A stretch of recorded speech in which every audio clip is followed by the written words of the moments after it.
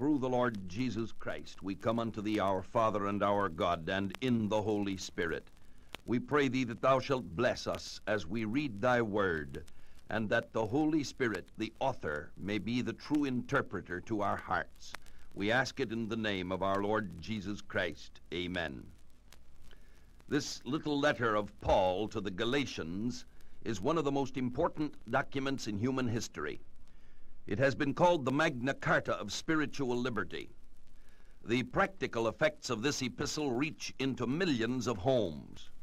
In fact, the epistle to the Galatians has a greater effect on how we live in the United States today than does the Declaration of Independence or the Constitution of our Republic. When you cross the border into Canada, you discover that our northern neighbors have as many liberties as we do without any Declaration of Independence and without our Constitution and its Bill of Rights. This fact shows that our liberties do not come from these documents, but that these documents are merely the expression of liberties that existed before the time of the Founding Fathers, who set them down in concrete form in order that men might enjoy these God-given freedoms. But the letter to the Galatians comes right down to our century and into our homes. If you ate ham or bacon today, it is because of the truths set forth in the epistle to the Galatians. Before the time of Christ, God's people could not eat pork. We can. Why? Because of the truths in the epistle to the Galatians. If you are wearing a garment made of mixed materials, it is because of the liberties set forth in this epistle. In Old Testament times, a person could not wear any garment of diverse materials. All clothing had to be of one material, wool or linen, for example, but not wool and linen. Today, our clothes are made of coal tar, pine tree roots, sour milk, and who knows what. We have nylon, orlon, dacron, silken wool, cotton and wool, or any other mixture that the scientist can produce. In our kitchen, we can cook food in any pot or pan that comes to hand. Our Jewish neighbors have one set of pans for meat and another set for anything that is cooked in milk. All of this stems from a verse in the Old Testament, which says in Exodus 23, 19, You shall not boil a kid in its mother's milk. What freed the Christian world from the bondage of kosher cooking?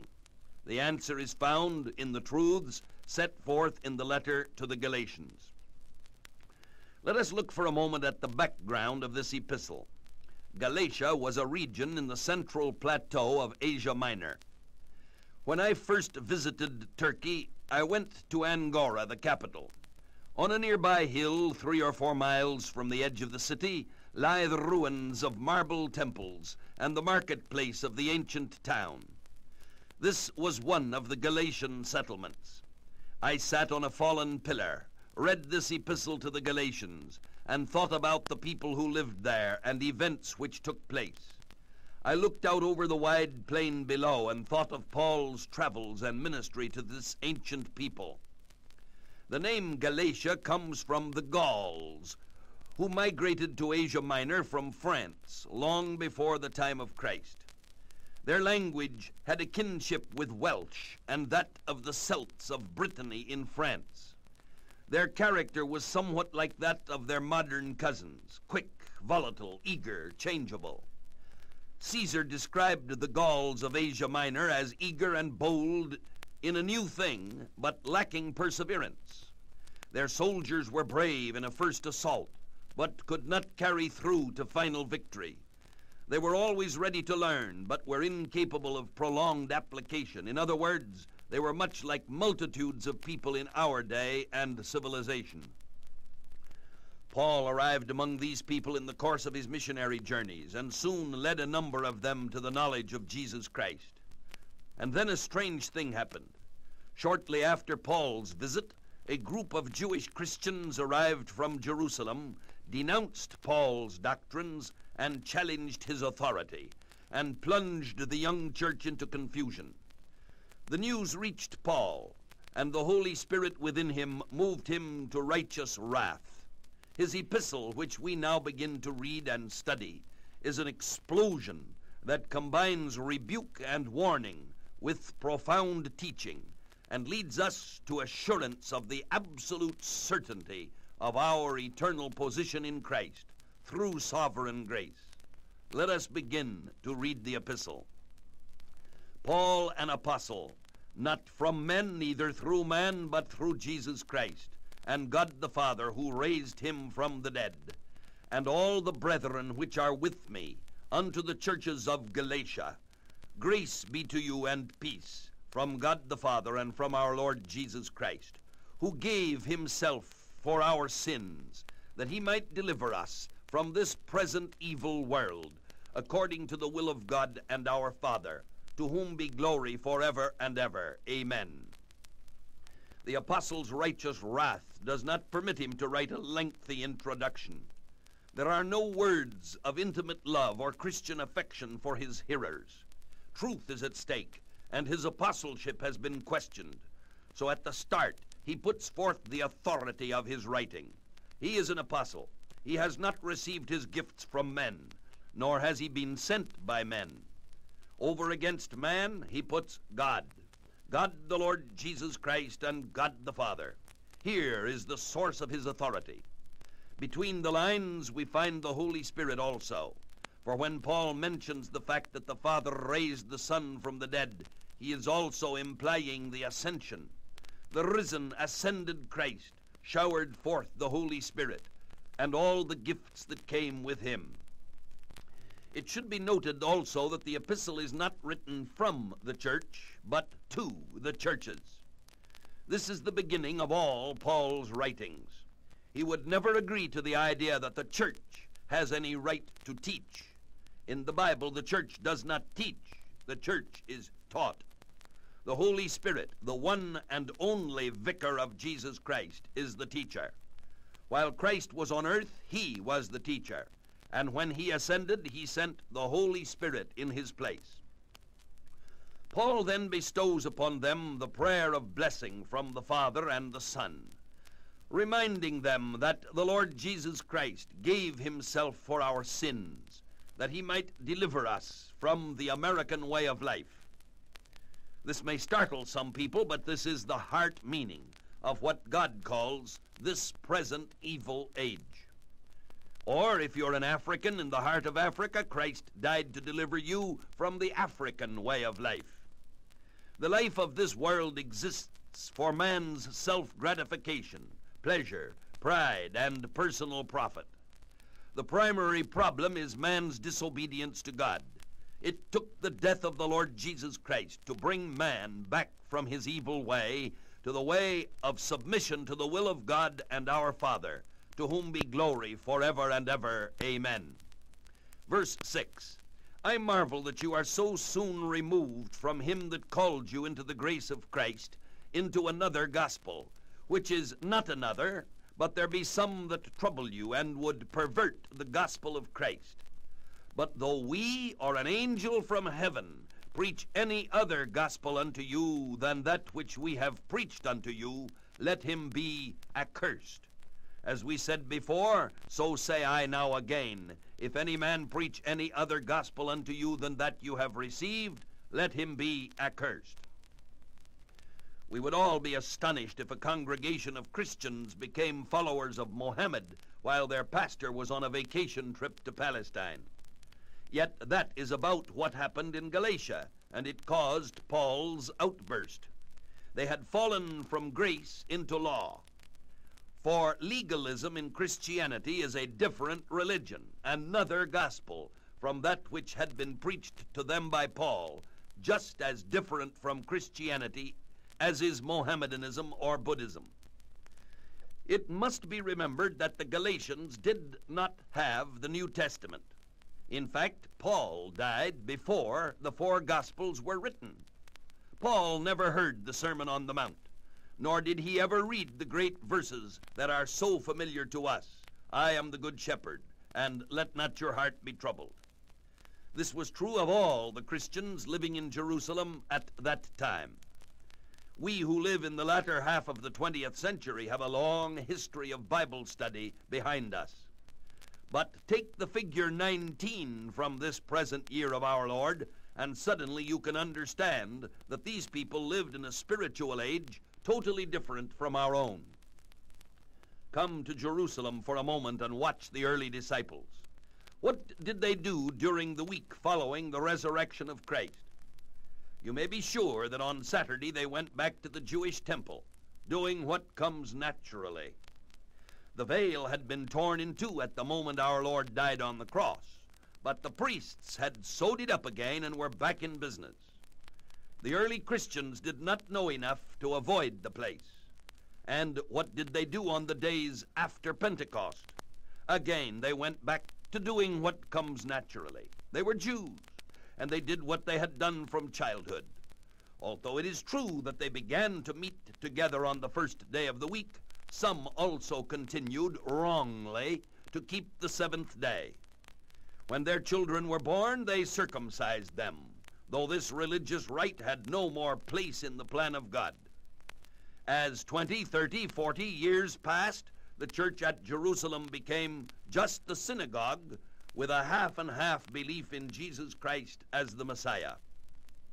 It took a tremendous revolution to bring the church out of the stagnant swamp established in Jerusalem after Pentecost. It took the work of the Holy Spirit through Paul and his epistles, and it took the battle between Peter and Paul, which we shall discuss when we come to the second chapter of Galatians, to break the Christians loose from Judaism. The most terrible part of this lapse into Judaism was that the Christians of Jerusalem wanted to force all professing Christians, even Gentiles, to live as did the Jews. For all practical purposes, they wanted them to become Jews, to accept circumcision, and to look toward Jerusalem as the center of faith.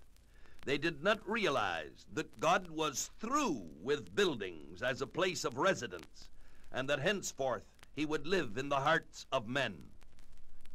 While he was here on earth, the Lord Jesus made provision for the emancipation of his followers from the curse of the law. He announced in Matthew 16 9, Whatsoever you shall bind on earth shall be bound in heaven, and whatsoever you shall loose on earth shall be loosed in heaven. There have been those who have attempted to use this verse as the foundation of their claim to dispose of the souls of men. This will not stand the test of the Scriptures. Christ was talking about things, not persons. The disciples understood this and met in Jerusalem for the first church council in order to put his command into effect. In the 15th chapter of the Acts, we have the account of the meeting. It should be noted that Peter was not the chairman of the meeting. That place was held by James, half brother of Jesus Christ, son of Mary by Joseph. Peter spoke, however, and said, Why do you make trial of God by putting a yoke upon the neck of the disciples, which neither our fathers nor we have been able to bear? James summed up the arguments thus Therefore, my sentence is, and the Greek is very strong, I myself pass final judgment, that we should not trouble those of the Gentiles who turn to God, but should write to them to abstain from the pollutions of idols, and from unchastity, and from what is strangled. This was followed by letters to the churches which brought the name of God into the decision. Wherefore it has seemed good to the Holy Spirit and to us. Thus, what was bound on earth was bound in heaven. This account contains a phrase which perfectly describes what happened in Galatia. We should not trouble those of the Gentiles who turn to God.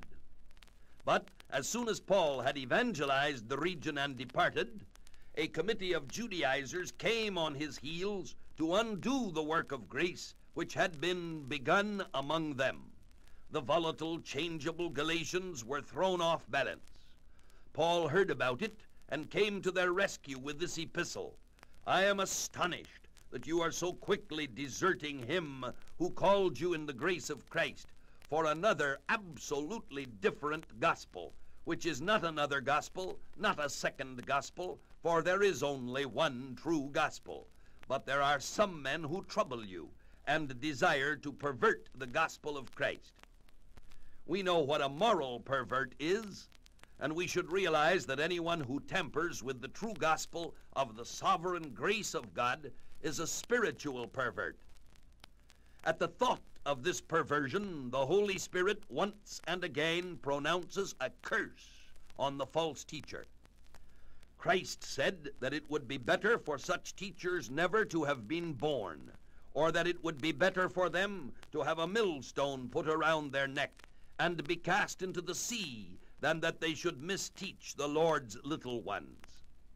Even a heavenly angel who thus taught would come under the same curse. Take warning, whoever you may be, who try to mix law with grace and bring the Lord's little ones under bondage to a legalistic system that comes from man instead of teaching the full grace of Christ. He then continues, verse 10 For do I now persuade men or God? Or do I seek to please men?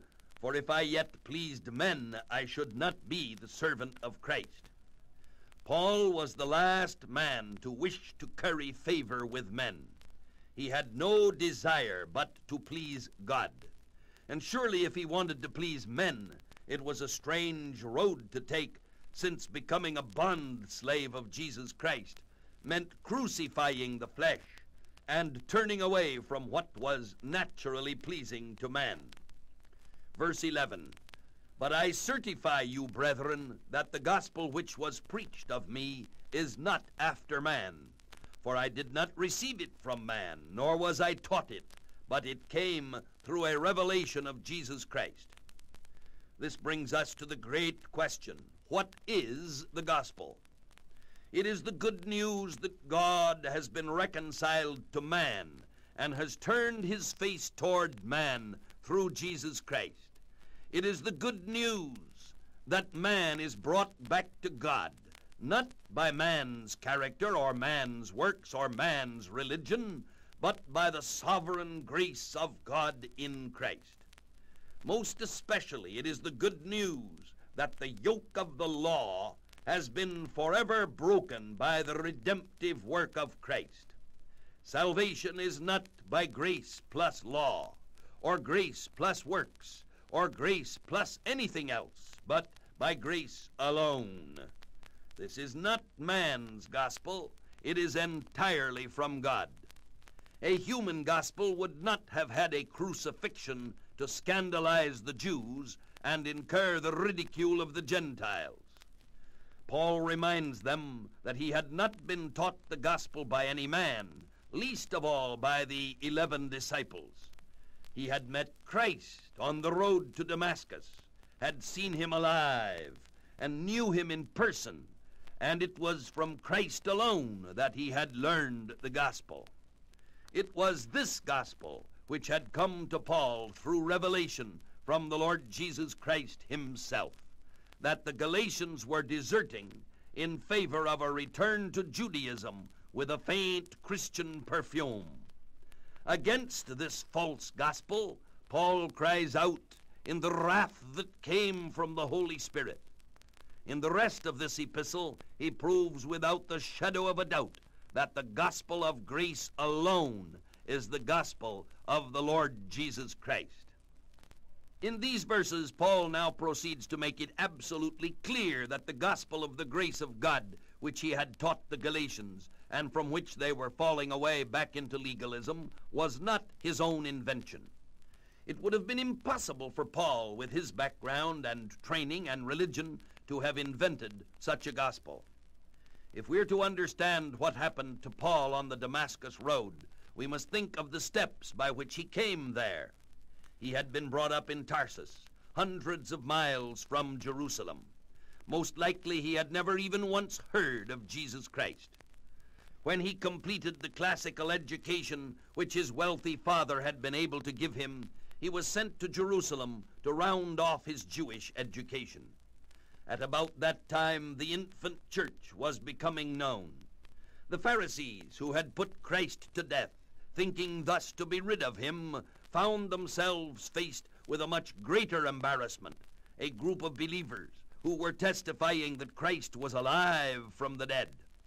The Pharisees must have received Saul of Tarsus with open arms. Here was a mind that surpassed any that they had met. Here was a zeal that flamed from a volcanic heart like lava. We can well imagine that when Paul learned that a group of Jews was claiming that it was no longer necessary to go to the temple or to offer sacrifices, his righteous indignation increased to fury. He set out in hot pursuit of these Christians, thinking that he was doing God a favor to rid the earth of them. Paul was acting entirely according to the law of Moses. Judged without the fact of the resurrection of Christ, he was quite right in putting the law into effect and stoning those who attempted to overthrow it. We can understand Paul only if we realize that he was in the covenant of Abraham, as much saved as was Isaiah or John the Baptist. He was circumcised the eighth day of the stock of Israel and of the tribe of Benjamin. Most important, the Holy Spirit allowed him to say in Philippians 3 that touching the righteousness of the law, he was blameless.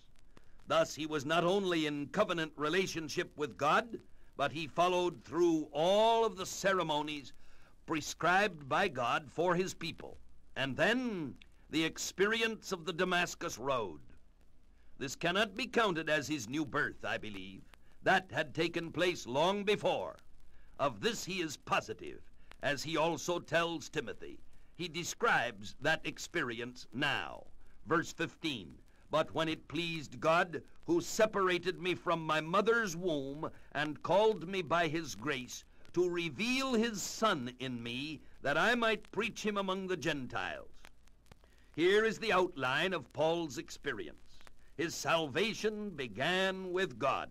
It was by God's sovereign grace and good pleasure. God separated Paul from his mother's womb, and on the Damascus road revealed Christ to him. Then Paul was immediately transferred out of his relationship to God under the old covenant into his new relationship with God in the church under the new covenant. Verse 16, Immediately I conferred not with flesh and blood, neither went I up to Jerusalem to them that were apostles before me, but I went into Arabia, and returned again unto Damascus. When one knows that he has met Christ, and that Christ has revealed himself, it is not necessary to go to men for teaching. The Holy Spirit will reveal truth in line with the Word of God in such a way that there is objective certainty and subjective assurance. Outside is the rock, Christ Jesus, and inside is new life, which is also Christ Jesus. Here is the basis of all true knowledge. After Paul had seen the Lord, he did not go to Jerusalem and take a course under Peter in the life and teachings of Jesus. He went into Arabia, and there the Lord taught him. We cannot know what happened between Paul and the Lord in Arabia. There is no word about this in the Bible. It is like Paul's other experience when he was caught up into heaven and heard things that were not lawful for a man to utter. We do know that at some time between Christ's making himself known to Paul and his return to Jerusalem 17 years after, God had made known to him all of the great truths of the gospel that we find in his epistles. May God bless to us each verse as we read it. We read in Galatians chapter 1, beginning with verse 18. Then, after three years, I went up to Jerusalem to see Peter, and abode with him fifteen days. But other of the apostles I saw none, save James, the Lord's brother. Now the things which I write unto you, behold, before God, I lie not.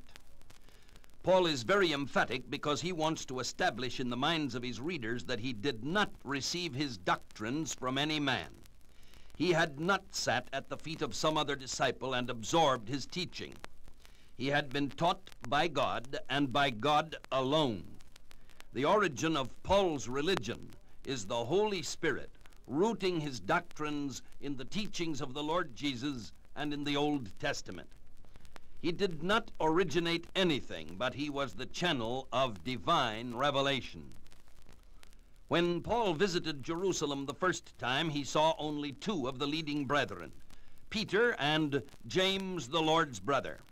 This James was the son of Mary by Joseph.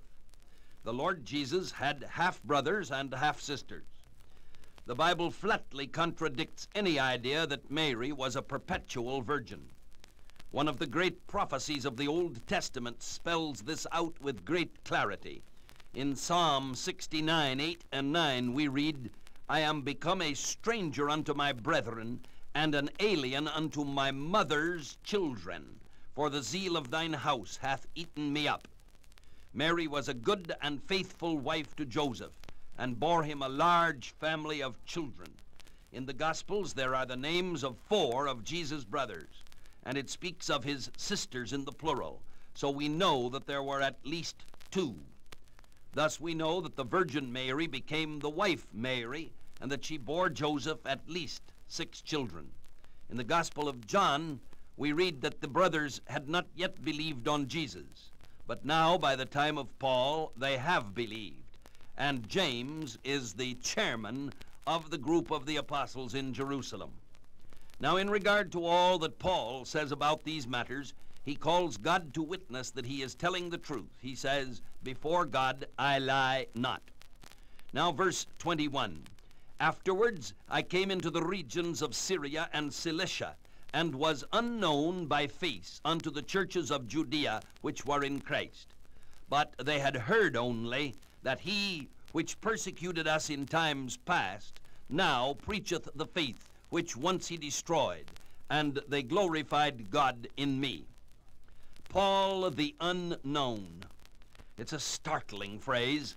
Many people may imagine that Paul was reached on the Damascus Road and that he began preaching immediately and writing epistles within a few days. As a matter of fact, the process was a slow one. God called him. God revealed Christ to him, and then God taught him. God does not use mushrooms in his work. He uses oak trees. You can grow a mushroom in a night, but it takes years to make an oak. Paul was seasoned in the desert of Arabia, and then for 14 years he worked in the back country of Syria and Cilicia. There were no special mass meetings with headlines, persecutor turns preacher, Come and hear former killer tell his story. There was never any publicizing of the gory details of his persecution of Christians.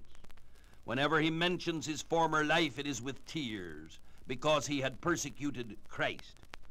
All that the Jerusalem believers knew about him for the 17 years of his seasoning was that he was somewhere out in the Gentile country. What a lesson is here for young preachers. What a revelation of the ways of God. A person who has come into the gospel recently should never be advanced to a place of prominence. Although a man may be a seasoned Christian when he is even young in years, as Paul told Timothy that no one was to despise his youth, Paul's experience should be a great example to the church. Publicizing past sin may bring crowds and may bring glory to the preacher, but it will never bring glory to God. Down in Jerusalem, the memory of the persecutions soon died out. The rumor went around that the old persecutor was now preaching the gospel. It was all far away and long ago. I seemed to detect a note of condescension in the voice of the leaders. They uh, glorified God in me. Now, chapter 2, verse 1. Then, 14 years after, I went up again to Jerusalem with Barnabas, and took Titus with me also. And I went up by revelation, and communicated unto them that gospel which I preach among the Gentiles, but privately to them which were of reputation, lest by any means I should run or had run in vain. The first great doctrinal struggle in the history of Christianity was about to begin. The whole of the form and ceremony of the Old Testament had, because of the death of Jesus Christ, ceased to be divine commandments and had become nothing more than the Jews' religion. God's time had now come for Paul to take the place of leadership that the truth of divine grace might be established. Paul did not run ahead of God. His natural bent would have been to go to Jerusalem and confound lesser minds with his knowledge and truth. But he waited on God. I did not plan this myself, says Paul. It was God himself who brought me to Jerusalem. When God thrusts a man forward, there will be certain blessing. When man runs ahead of God, there can be only failure and a blot on God's honor before the world. Paul did not go to Jerusalem to learn from Peter or any of the other disciples. He did not go to learn, but to teach. He was not afraid that he himself had been mistaken, but he was afraid that even Peter and the elders of the church in Jerusalem had slipped backwards into Judaism, and that they would refuse the doctrine of the full grace of God. If they did such a thing, they would be blocking the divine plan to establish the true church on the doctrine of grace alone. It's interesting to note that the Jews throughout modern history have maintained their errors by thinking that their religion centered in Moses, while in reality it centers in Abraham. Another great segment of Christendom has fallen into a similar error. They have founded their church on Peter instead of on the truths that were preached through Paul. Note also that arriving in Jerusalem, Paul went directly to the leaders of the church. At times, there are evangelists who go into a town without consulting with the ministerial association. And then, when they are not backed up the way they think they should be, they hurl epithets at true believers, saying that these are not following the will of the Lord. But Paul did not go to Jerusalem to start preaching without first stopping by the offices of the ministerial association. Paul was not a separatist. He had a deep love in his heart for these men. And this journey to Jerusalem was for the express purpose of making it possible for him to work with these men. If you like, you may say that Paul wanted to work under the auspices of the organized church. Verse 3 But neither Titus, who was with me, being a Greek, was compelled to be circumcised. There was no compromise on Paul's part as to the matter of ritual and its place. Titus, an uncircumcised Gentile, was now a believer and was Paul's helper. The crux of the problem was centered in this young, uncircumcised Greek Christian. Would he be segregated or integrated? Paul would never give ground on a matter like this. Fellowship among believers had to be on the basis of fellowship with the Lord. If a man is saved, we must fellowship with him, no matter what the differences on matters of ritual. Paul would never have tolerated closed communion for a moment. To have forced circumcision upon Titus would be the same as to force a particular form of communion or a particular mode of baptism upon a true child of God. How Paul cries out in triumph over this victory. The men who had come to Galatia preaching false doctrines had claimed authority from Jerusalem.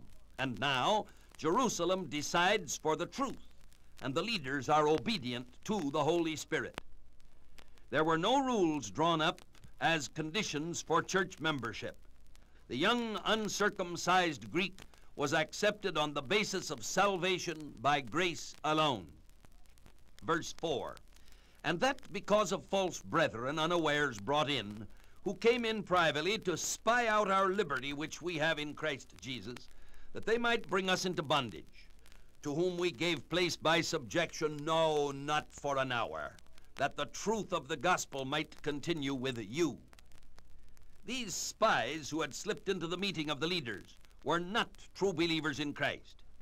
They were not ignorant Christians or untaught Christians or even Christians who had gone off on some tangent of error.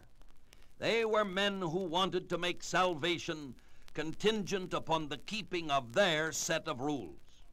They were under the curse which had been pronounced by the Holy Spirit, as we have seen in chapter 1, verse 9. They were preaching another gospel, which was not the true gospel at all. As in that day, so in this. There are those who want but one thing. They want everyone to agree with their pet doctrines and their favorite rules. The Holy Spirit can never use a man who is trying to maintain his own system of doctrine, for God can never permit a man to intervene in a work that belongs to God alone.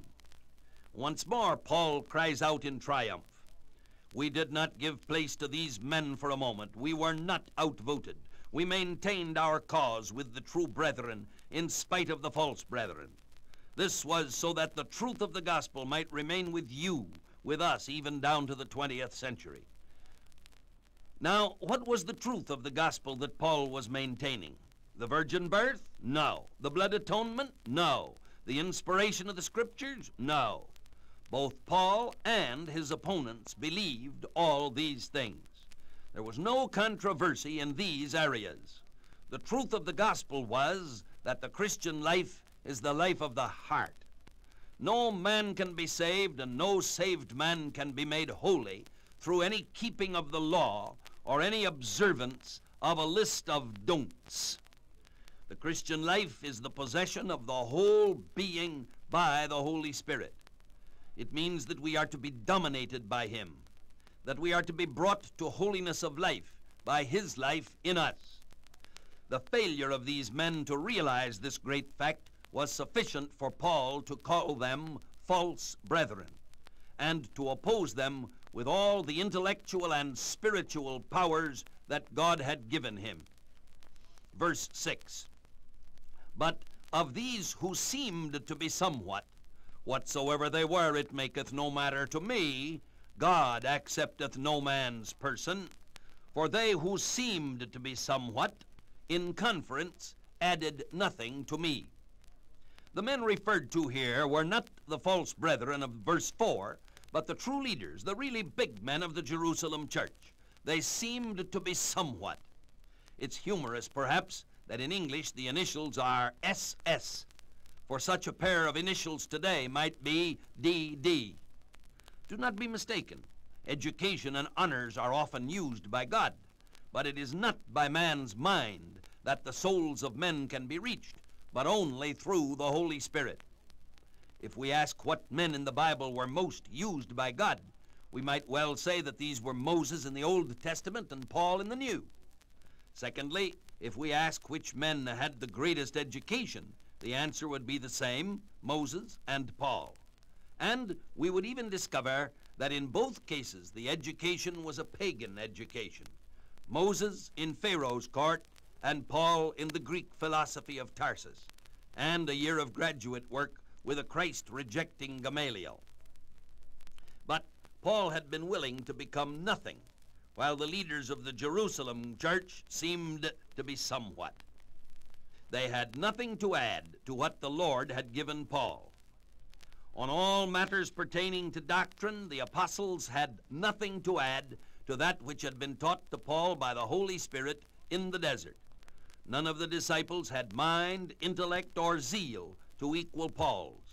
But it was not for this reason that they did not modify his doctrine in any point. The reason for the finality of Paul's point of view was revealed back in the first chapter.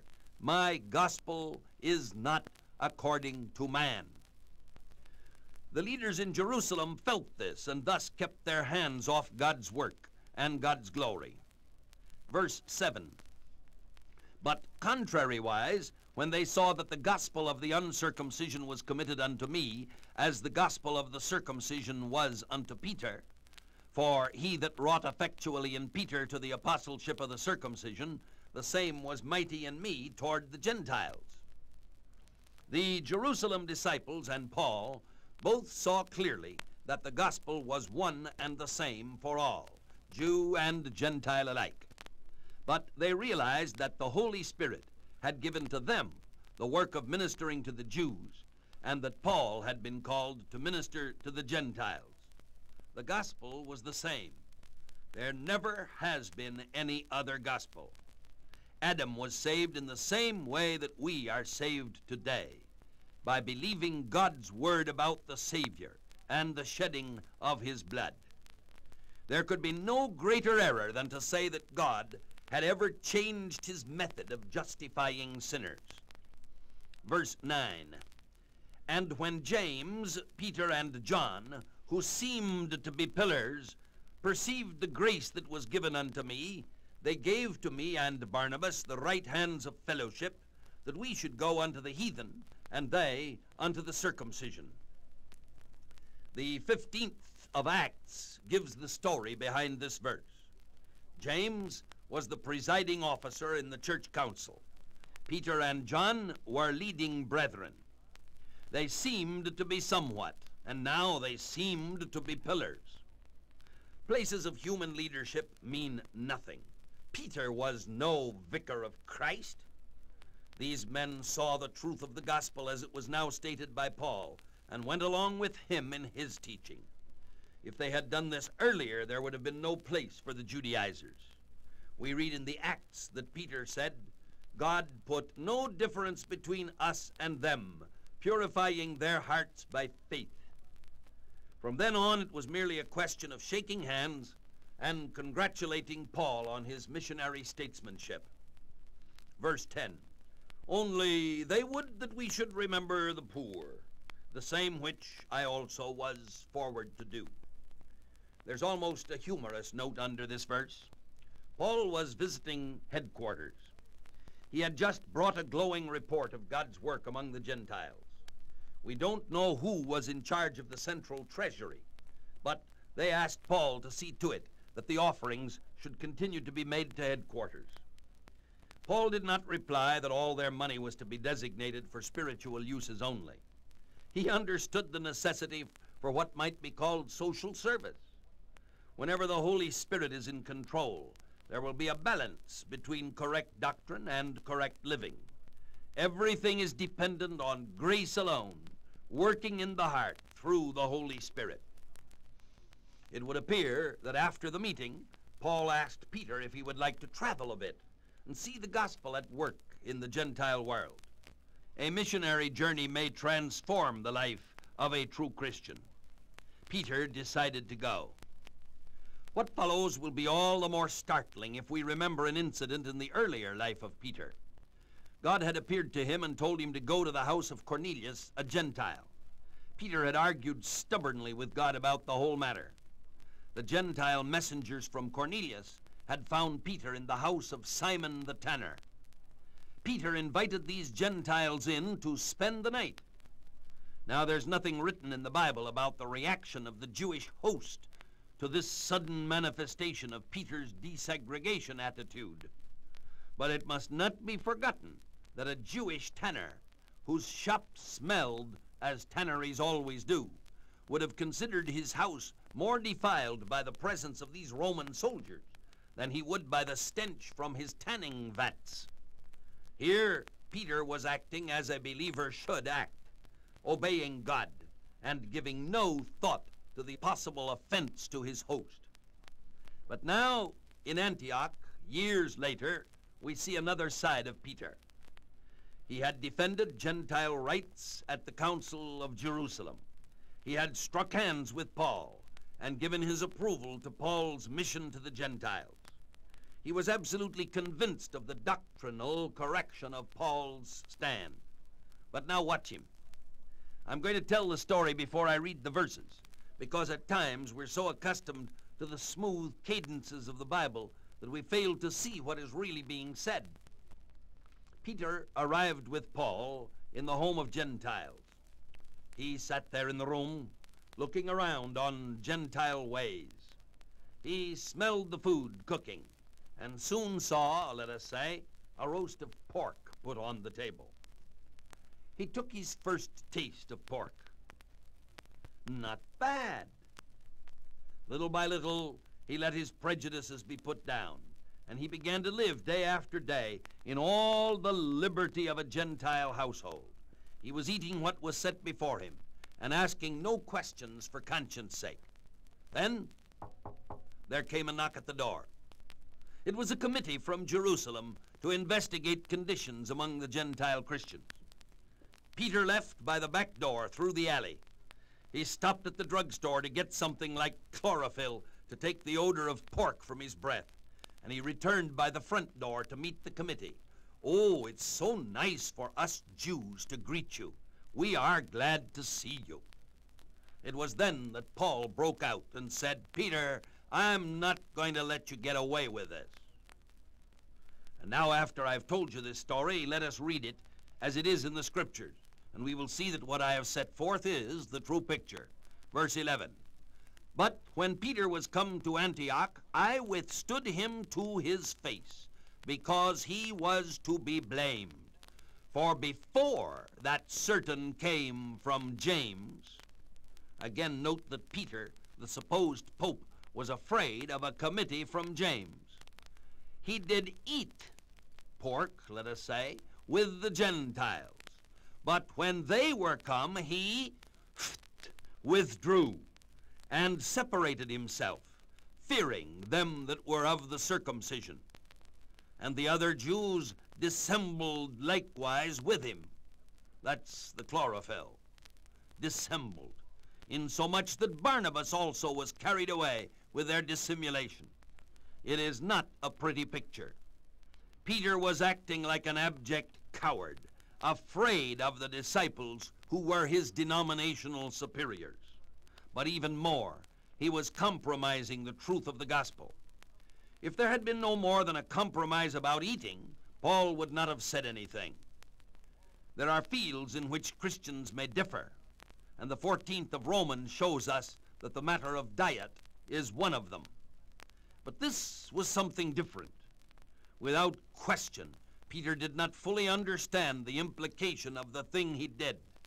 But Paul, enlightened by the Holy Spirit, saw that this was not merely an exhibition of Jewish snobbishness or an uncouth fisherman's lack of courtesy. This was the rejection of the gospel of grace. As a matter of fact, this incident is the stone which the rationalists of the last century, and especially Baur in Germany, used as a foundation for their theory that Paul's teaching was in conflict with Peter's, and therefore different from Christ's, and that the whole gospel of grace is a colossal fabrication. Now, before we consider the tremendous dressing down which Peter received from Paul, let us remind ourselves that Peter later acknowledged that he was wrong and that Paul was right. In Peter's second epistle, he wrote, Even as our beloved brother Paul also, according to the wisdom given unto him, hath written unto you, as also in all his epistles, speaking in them of these things, in which are some things hard to be understood, which they that are unlearned and unstable wrest, as they do also the other scriptures unto their own destruction. Oh, thank you, Peter. It takes a great man to say, I was wrong, dead wrong. Paul was right. He says some things that are over my head, but his wisdom comes from God, and he is right. May God bless to us this reading from his word.